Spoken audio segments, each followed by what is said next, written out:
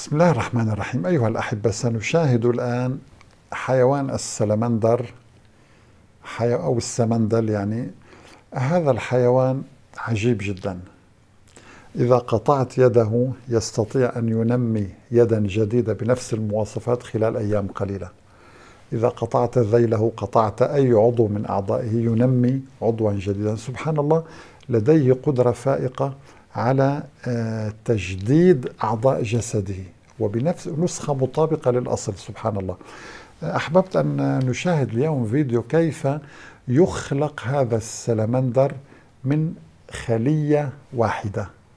في موقع ناشونال جيوغرافيك رصدوا هذا الأمر أيها الأحبة. انظروا هذه هي خلية واحدة تنقسم إلى خليتين. طبعا هذه نطفة أمشاج. النطفة الأمشاج خلية ملقحة.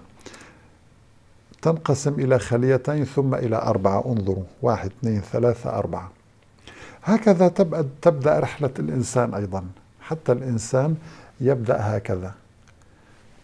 معظم أو كل الكائنات الثدييات بخاصة تبدأ هكذا أيها الأحبة انظروا. بعد قليل انقسمت الأربعة أصبحت ثمانية. دائما آه ثم ستة عشر اثنين وثلاثين وهكذا يعني. سلسلة هندسية. انظروا أيها الأحبة. انظروا أصبح الآن لدينا مئات الخلايا هنا. هنا مئات الخلايا. هذه الخلايا يعني الذي حير العلماء. قبل أن نكمل فقط ملاحظة. ما الذي يجعلها تنقسم بهذا النظام؟ طيب لماذا نحن لدينا خلية نطفة أمشاج أو خلية ملقحة آه، موجودة داخل آه، يعني يعني هذا هذا هذه الخلية ما الذي يجعلها تنقسم إلى خليتين ثم أربعة ثم ثمانية ستة عشر اثنين وثلاثين أربعة وستين وهكذا؟ طب ما الذي يجعلها تفعل ذلك؟ شيء محير ليس للعلماء أي جواب ولكن الجواب طبعا هو الله خالق كل شيء. انظروا الآن أصبح لدينا آلاف الخلايا. بعد ذلك انظروا يظهر لدينا هنا هذا الخط. الخلايا تبدأ الآن بالتمايز لأن هذه الخلايا أيها الأحبة منها ما سيشكل القلب وهو أساس هذه المخلوقات. منها ما سيشكل النظام الدورة الدموية خلايا الدم الأوعية الدموية إلى آخره. منها ما يذهب ليتحول إلى خلايا دماغ.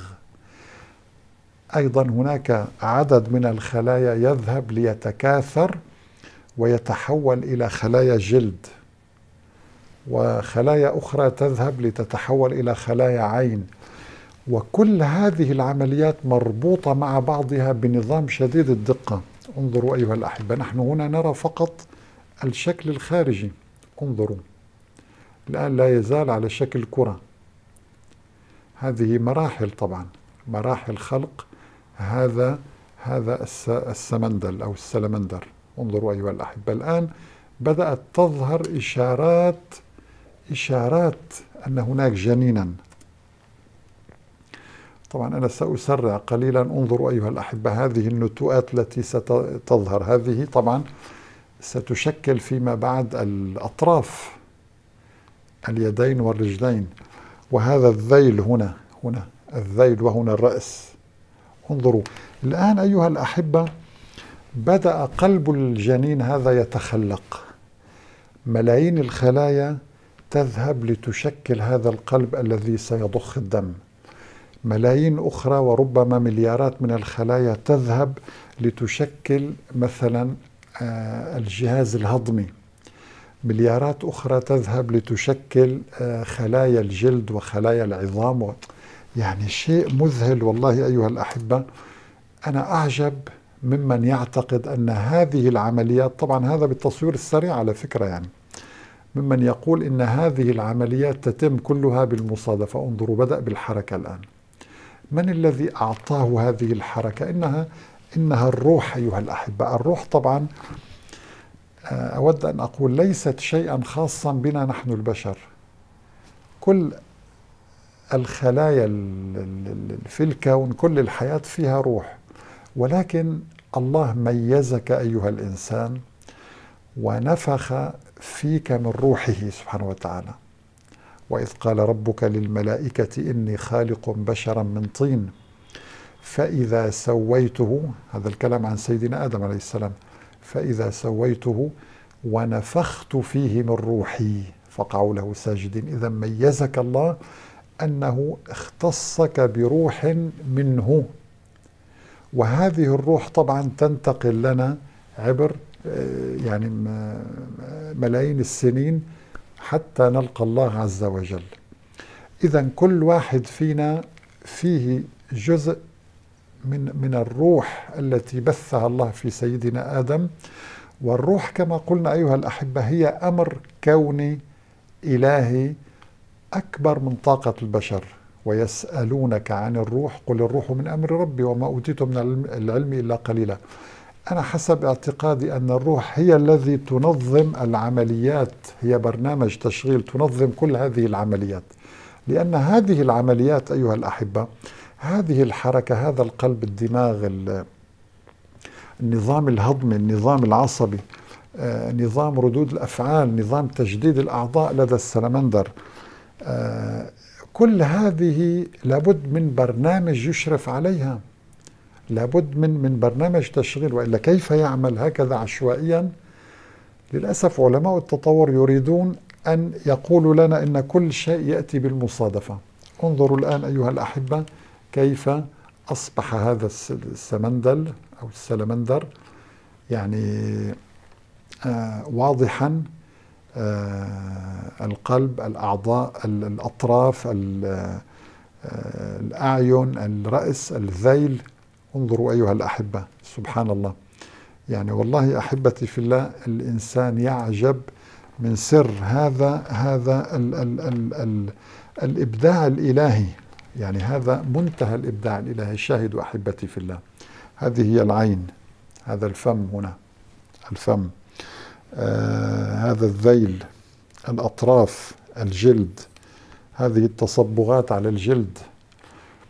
هذا يوجد منه مخلوقات سامة هذا من من أشد الأنواع المخلوقات سمية أيها الأحبة. انظروا انظروا كيف لديه حركة سريعة ولديه فن خداع ولديه قدرة على تجديد أطرافه كما قلنا بطريقة مذهلة.